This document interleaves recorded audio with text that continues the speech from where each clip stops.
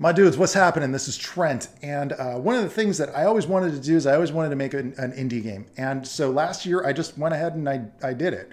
And I didn't want to quit my day job because, hey, making indie games, it's a highly competitive business and there's very difficult to stand out. It's almost like playing the lottery. So I wanted to hold on to what it is that I do best, which is pretty much doing concept art for contracts and things. And that's what my, my team and my company does. But I was able to put together an indie game with my free time, just about 10 to 16 hours a week on average, give or take a couple of weeks where I spent more time on it. So I wanted to break down the process of everything that you would need to in order to make your own indie game in your free time while not quitting your day job. All right, dudes, let's break it down into a few different steps. First of all, before I dive into it, why not quit your day job and go whole hog and risk it all on your big, uh, cool idea? Uh, the reason is because every single year, about 10,000 new games are released on Steam, and that number is climbing by about 25% every single year. So it's highly competitive, and if you risk it all, you might end up homeless. And I don't want to encourage anybody to take that kind of risk. Build some momentum and strategy before you make a big jump like that. Okay, disclaimers out of the way. Now, where do we begin? We start with your big idea. What's your big idea? Now, I don't recommend you you actually start with a big idea, a lot of times people say, hey, I want to make an MMO or I want to make a big AAA game. But if you do the calculations on that, you're going to need about 30 to 40 million dollars to develop a big AAA game like that. It's better to plan something out that's on the scope of something that one or two people could do. Start with a simple idea. In my case, I started with an idea that was somewhat similar to old classic games like Mega Man or Meat Boy. The mechanics are simple. It's just a variable jump and you're surviving the environment. You don't have to deal with a lot of AI or managing inventory or tons and tons of uh, NPCs or anything like that. I'm trying to keep it within a scope of something that I could learn on my own because I'm going to have to program all this myself. Don't go too deep with this. This is why I didn't do Twilight Monk. I did something totally new because I didn't want to be bound by the story or logic of anything that came before it. Hence why we have Ikeda, the Scrap Hunter. Write that down on a piece of paper and it should explain what's going to be compelling and unique about your game. Now keep in mind you've got a lot of competition out there so you're going to want something that's simple but also very very compelling and unique and something ideally that visually people can see what's unique about it right out of the get-go. Keep your description short and simple and even bullet points are a very ideal way to put these initial ideas down on paper because they are going to change.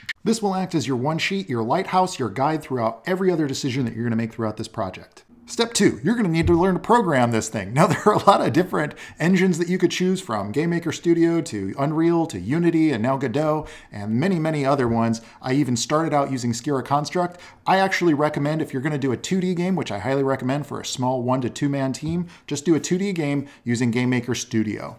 Do not plan to do a 3D game in Game Maker Studio. If you want to do a 3D game, absolutely jump into Unreal or Unity Engine. In my case, I chose Game Maker Studio because there were a lot of tutorials by a guy named Benjamin. Uh, he goes by Heartbeast on YouTube. Definitely follow some of his tutorials. And another guy named Shaun Spalding. There are a lot of others out there, but uh, these guys also have exclusive courses that will walk you through the process of learning to make your own platformers and adventure games and real-time action games and, and uh, turn-based RPGs, all kinds of cool stuff. Actually recommend that you block out, you set aside about four months uh, that's not going to do it. You're going to need about a year, at least a minimum of a year, to really grasp the concepts behind an engine, any engine. During this time, you're going to understand state machines, you're going to understand game logic, you're going to understand how to create a little bit of fun, and you're going to want to go off the rails from those uh, from those tutorials. In fact, I started to develop little other types of platformers, and and uh, I started making a little Creed game, and I started making a little balloon flying game, and I started making a variety of programming experiments, you know, to try out all the new things that I was learning in the in that engine, knowing very well that it was all going to get thrown away. This was all pre-production. This was all preparing for the project. It's a good chunk of time just getting ready to make your first game. I mean, sure, I'd shipped probably about 20 AAA games, but I'd never programmed a game before. I'd never done game design like this before. There is a big distinction between the R&D mode, the exploration and understanding how an engine works and, and building your systems, and actually creating content for your game. There was a lot of quitting and then a lot of starting again, so really this took me a couple of years. By this point, you should have loads of broken prototypes of things that will never go anywhere, and that's okay, because that's part of the learning process. The most successful indie game developers do game jams where they just put together entire games within a matter of a week or less. Fall out of love with the results and fall in love with the process, the beating your head against the wall, the overcoming challenges. Step three is to go back to your original document and start to break it down into actionable items. For instance, at this point, you might say, well, it's, I think I need to work out that heart container system. Take that item from your list, set aside one week in your calendar. I use Mac calendars and focus on that one task for that one week. If you have to do some tutorials, research, whatever, figure it out, get it in the game. It might be rough, but get it in. Don't get stuck on one feature, move on. You're gonna wanna gray box your stages. You're gonna want to figure out if you're gonna have text in your in your NPCs, if you're gonna have NPCs at all, if you're gonna have any kind of story, figure that out now. How do you make a cutscene? Now, if you're an artist by nature uh, and you're at this stage, you're gonna wanna jump the gun. You're gonna wanna jump right into making it beautiful as all hell. You're gonna wanna create visuals that stun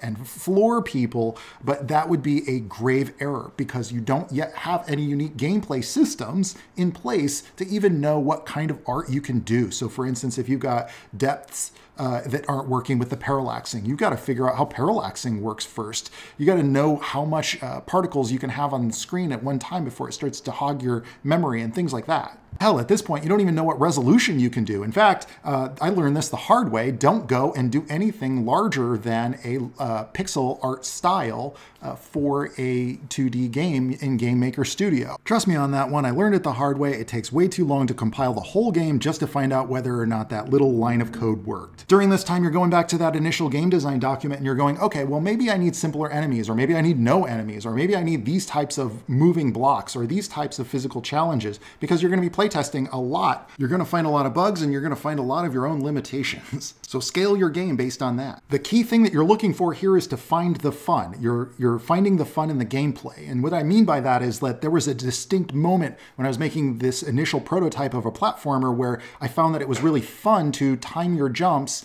uh, based on when you landed on a platform, it would fall out from under you. And then if you tried to ascend a tower with the platforms constantly falling out from under you, it created this interesting tension with the gravity. So I took that key moment of fun that everybody that playtested it was enjoying this tension and reward, and I exploited that. That was the whole basis for the Ikeda game. Conversely, if anything wasn't fun, I cut it. This is exactly how most games are actually developed. They're looking for the fun, and that's not something you can quantify. It's something that you find through trial and error and playtesting. So a great example of this is uh, Blizzard was developing a game called Titan, and it had a lot of features. It had too many features, really. So we set out to make the most ambitious thing that you could possibly imagine, and it didn't come together. Morhaime continued. We didn't find the fun. This has been the core philosophy of every successful developer I've ever worked with. Whatever the case, when the team sat down and really asked themselves what part of our game is actually fun, they found that the arena battles were the most fun. So they took all the art assets from Titan, everything that they had been building, and the themes and concepts, and they applied them to the part of the game that was actually fun. And they made that the focus, the singular focus of the game. And that's why we have Overwatch. So find your fun, then exploit it. And what I mean by that is take that singular mechanic or feature or whatever it is and start to find creative ways to build off of that. So you've got the fun, now you're challenging that fun with new additions that all compile on top of that foundation. You're not straying, you're not going in a totally different direction, you're going with the part that's already working, the fun part. That fun should be there whether or not you've got graphics involved at all. You could be jumping around a, a gray block on top of other gray blocks, and it should still be fun because art doesn't freaking matter. What matters is the fun. Step five, take off your designer hat. Now it's all about art, what you want to do. And what I did anyway was I built a singular stage that was my proof of concept. I decided to take a chunk that was the here's the beginning and here's the end and here's the sense of reward that you're going to get when you complete that stage. At this point, I was about eight months into development. This is where I began to learn about how, how uh, graphically intensive I can make my stages. How much artwork can I put into there and still stay on budget of my time? And what I mean by a proof of concept is essentially that this should be a self-contained explanation of the best parts of your game. When you hand the controller to a player, they should immediately get a sense of what your whole game is going to be about. Don't give them a cutscene or a stage one where the player has no abilities at all. Give them something that shows them exactly what your game is going to be about in its peak moment of fun. And a great example of this is when I was working at Capcom, we were building this game that was about a character who was breaking out of slavery, and then he was later going to have all these cool weapons and gadgets. But we made the mistake of building the prototype where he was still a slave trying to break out of this ship. And so when we showed it to Inafune and all the other higher ups over at Capcom, they were like, why do I want to play as a guy with no weapons or abilities in a loincloth? They shut down the whole project, almost canned the whole studio. It still turned out better than Mighty Number no. 9, but man, it wasn't fun. No, if this were a story arc, eh, this would be Act 2, the fun and games. Show us all the coolest abilities that make the gameplay the most unique and fun and interesting. So at this point, you want to actually show your polished prototype single stage to people. And you're going to want to see not just what they're telling you, you're going to want to see how they're reacting to what it is that they're playing. Just absorb yourself in the game, in the universe of Ikeda. Okay. Oh, you figured out the run jump pretty quickly. Well, I think you had mentioned it to me before. Okay. okay. So I can just. Whoa! While you're watching people play your game in person, you want to watch their reactions. Are they dazzled? Are they frustrated? Are they inspired? Are they excited? Are they asking lots of questions about what comes up next? Are they uh, trying out ways of solving problems that you didn't anticipate? Because that's where you're going to learn how the player thinks. Don't forget to take lots of photos of their facial expressions so that you can embarrass them on your YouTube channel later. Coming out of this, you should have a good idea of like what's working and what's not working. Now, this would be a good point to decide whether or not you want to even finish the project. You know, you might get the playtest back and people go, ah, this is nothing. And that happened to many of my early prototype things, you know. You'd also have to evaluate, well, let's see, if I make it a much longer game, is there going to be more here? If you look at the dev blogs for things like Celeste, for instance, they built a prototype and they found that it was fun, so they built a bigger game. The same thing happened with um, Hollow Knight as well if the response is insane, you might very well go, hey, maybe it's time to do that Kickstarter, or hey, maybe it's time to find that publisher. But keep in mind, if you work with a publisher,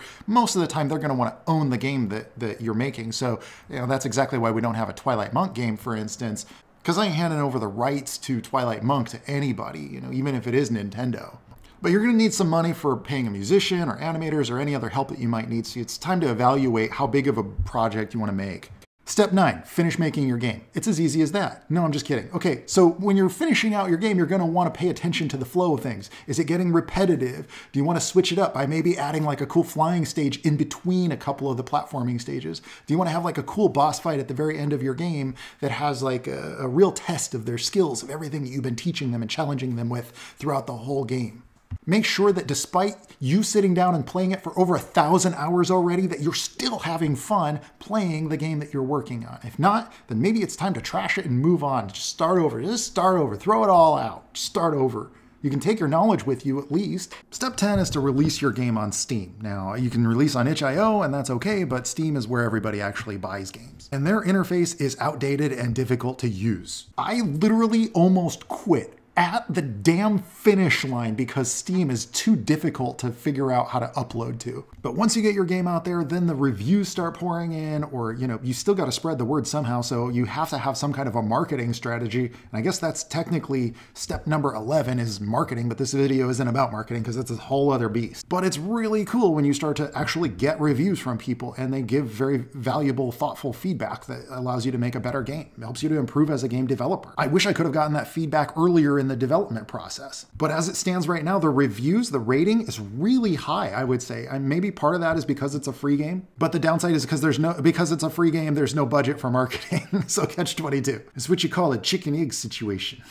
So there you have it. That's pretty much the breakdown of the steps I went through. There was a lot of trial and error, and I learned a lot from the experience. In fact, I would say that's the most valuable thing uh, that I got out of the whole thing is that I can say I'm an indie game developer, solo indie game developer. I was able to do that on my own. I have a greater appreciation for all the systems that go into making an indie game. The game did not make a lot of profit because I put it out there for free. You know, you start out doing something small, you learn from everything that you've done, you compound that, and then the next game you learn how to make a better game. In fact, I would say that that's probably the best part about just getting your, your first game out there. Do something really simple and small so that you can learn the experience of actually releasing a game on Steam, looking at statistics, looking at how people are playing it, how they're consuming it, how they're sharing it, and how they're rating it, how they're reviewing it. And then you start to realize, well, geez, I need to put more uh, attention into marketing and getting reviews on this thing if I want to reach a bigger audience. So the whole thing was really just about understanding the atmosphere, understanding the environment. What is it like to be releasing games as a publisher in the indie game space?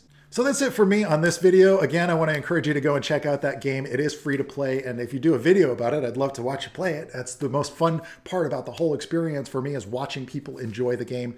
And uh, dudes, I got more art videos coming for you next week. So until next time, I'll catch y'all. Manyan and ciao, baby. Oh, yeah.